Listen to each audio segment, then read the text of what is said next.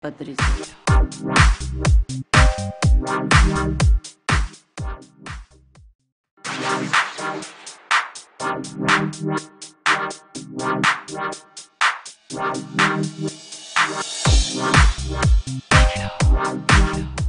Señores, el respeto al derecho ajeno es la paz y le evita muchos problemas, pero al parecer esto no fue lo que entendió el síndico del aguacate, el cual un agente de la DGC le propinó un disparo. Salimos a las calles a conocer la opinión de la gente, el parecer de la gente, de la gente en cuanto al manejo del de la DGC.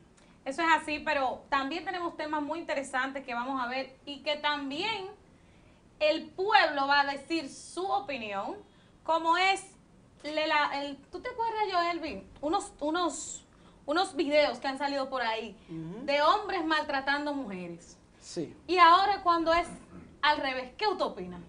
Bueno, ¿qué yo opino? Vamos a ver qué opina el pueblo. Más adelante le vamos a presentar esto y mucho más. Así es. Esta ha sido una semana muy caliente aquí en el país. Todo tipo de temas han estado en la palestra, pero sin embargo hay algo que ha resaltado y es que la actitud que hay en este país se ha caracterizado por la violencia y aquí hay un mal manejo de las autoridades y de los ciudadanos. Sí, pero Mucho mira lo que vamos a la o sea, hay una pandemia, por así decirlo, porque vemos aún cada vez más personas violentas y las autoridades mm, vemos como que no tienen un protocolo establecido o no tienen un régimen. Sí, pero espérate, espérate, espérate. Lo que espérate, pasa es- lo espérate. que no, pasa no, es- espérate, vamos, vámonos por parte. ¿Cuál parte? Yo no soy de defender a las autoridades.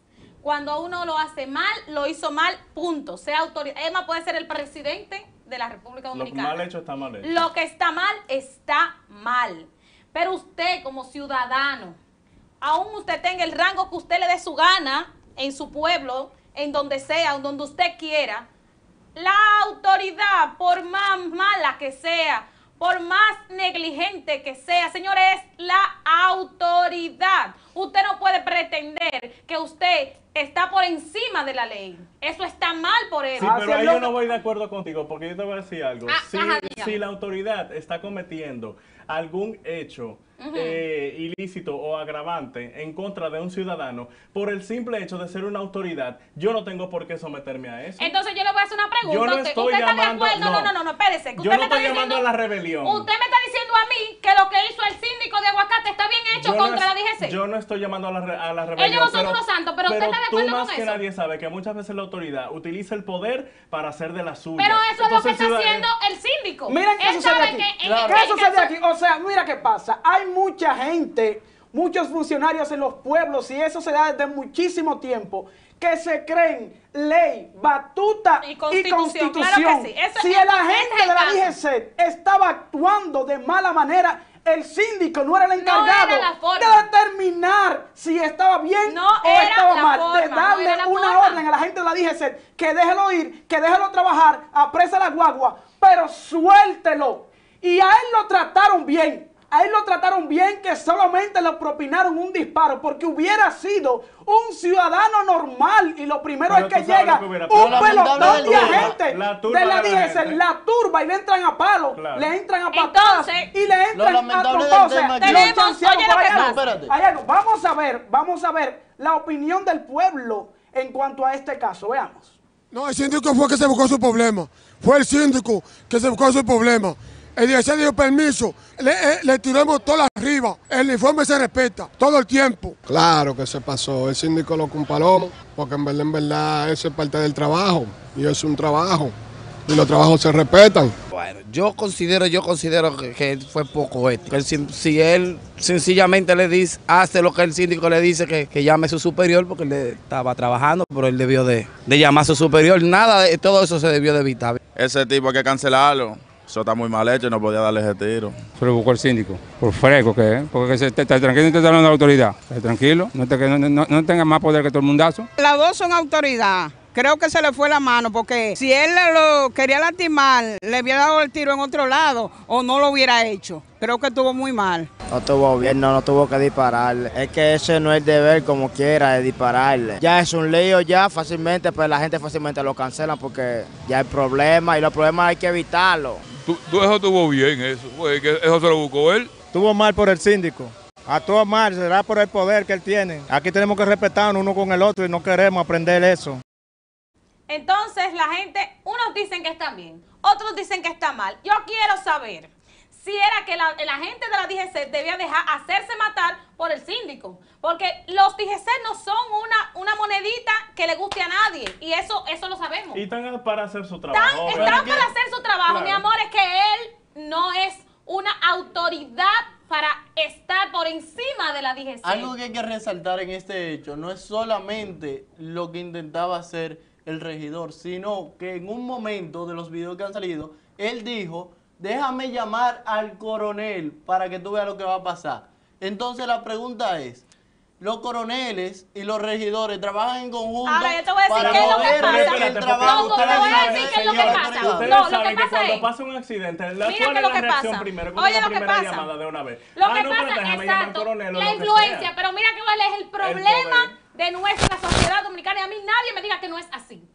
Dicen por ahí, dice una canción por ahí, que usted quiere un policía para que te chancee y otro para que te implante el orden. Eso es lo que está pasando aquí. Esa es la que realidad. usted, oiga lo que dice él, déjame llamar al coronel para que usted vea lo que va a pasar.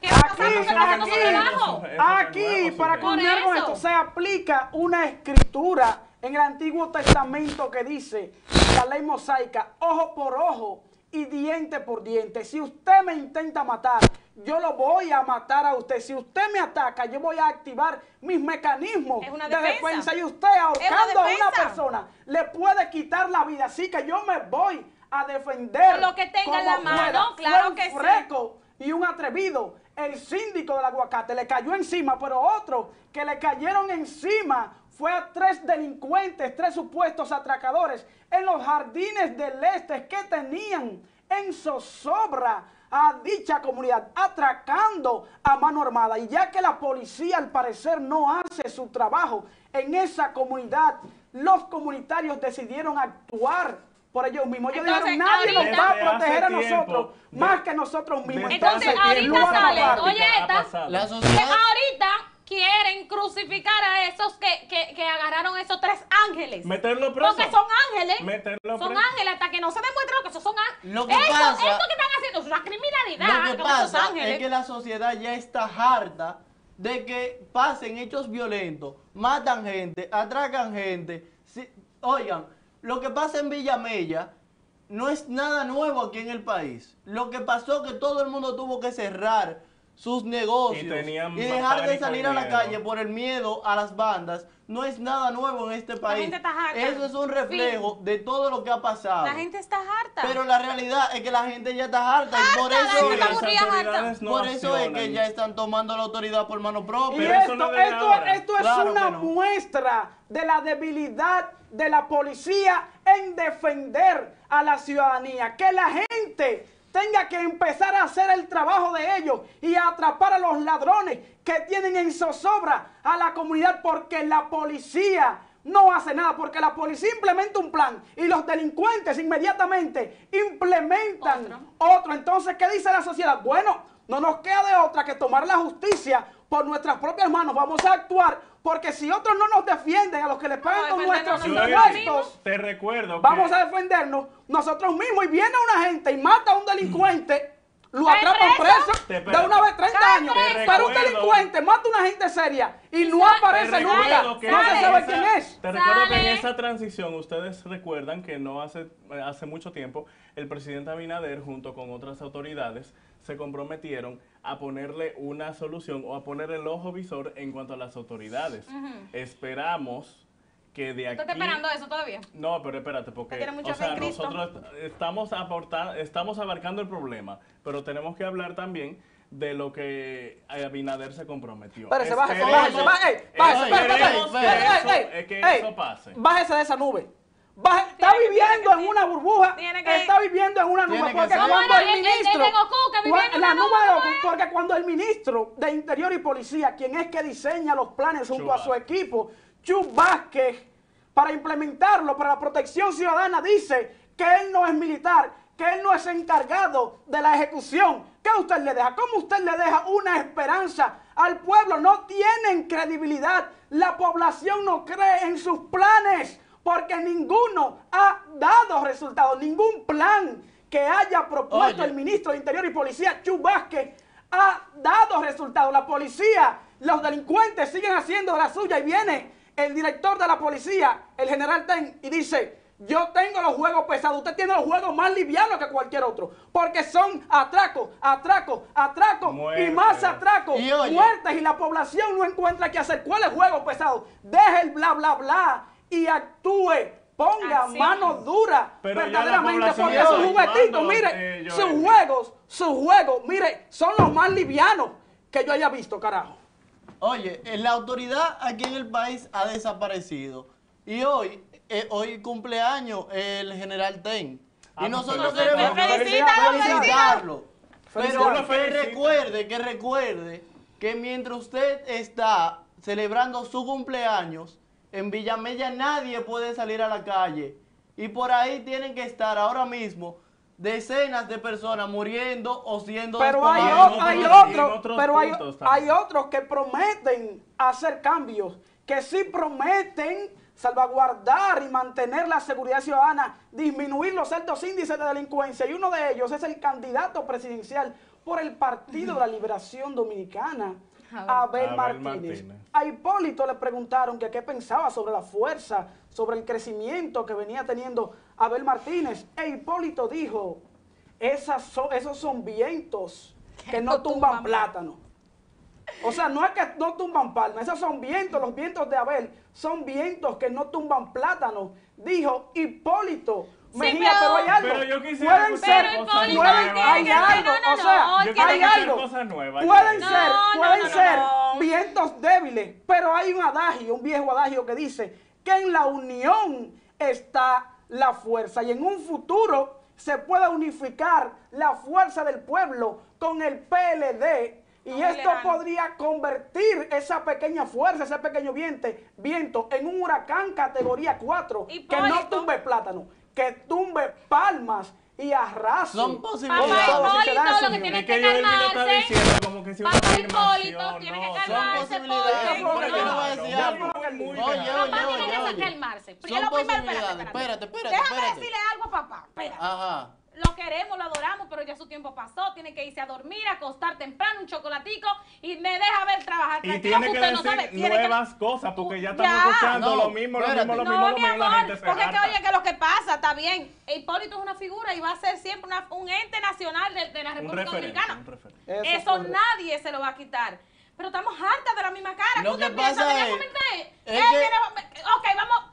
El comentario, el comentario de Hipólito tiene una razón de ser que ustedes no han visto. Ok, ¿cuál es la y que razón la de mayoría de, ser la gente no ha visto. Y la realidad es que Abel Martínez todavía no es el candidato del Partido de la Liberación Dominicana. Y ustedes dirán, ¿cómo así? Claro, el PLD puede poner a quien le dé su gana todavía ahí. Por eso es que Menos todo el mundo, da- incluso a Margarita o a cualquiera de los que tuvieron. ¿Por qué? Porque esas elecciones simplemente fueron una medición interna.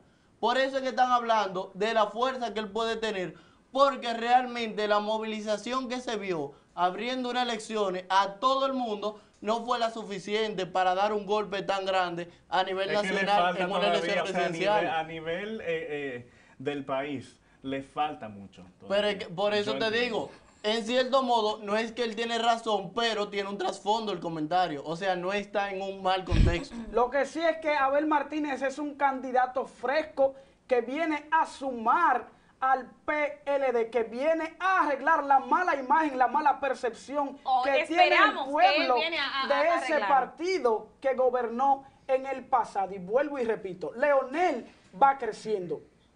Abel va creciendo y si ellos crecen, hay alguien que disminuye y una posible unión de esos candidatos podría dar como resultado una segunda vuelta electoral, electoral en el 2024 y vuelvo y repito, no tumbarían plátanos, tumbarían palmas de gran altura. Pero eso no si quiere decir que se duerma, porque hemos visto en el pasado que candidatos se duermen en los laureles y al final, ¿qué pasa?